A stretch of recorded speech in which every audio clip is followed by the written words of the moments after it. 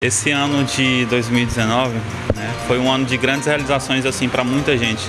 Foi um ano também onde muita gente também sofreram perdas, né, muitas coisas é, difíceis aconteceram ao longo deste ano, mas sobretudo aquilo que é bom, aquilo que nós tivemos, as grandes realizações, as grandes conquistas que ocorreram também ao longo do ano e elas nos forjaram, nos mostraram quanto nós podemos melhorar, o quanto nós podemos superar e crescer ainda em meio às adversidades, né?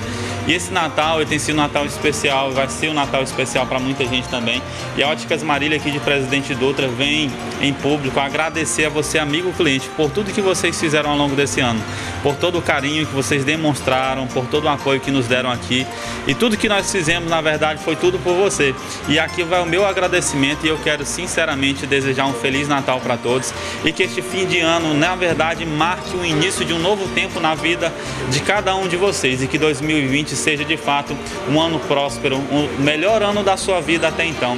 Esse é o meu desejo de coração.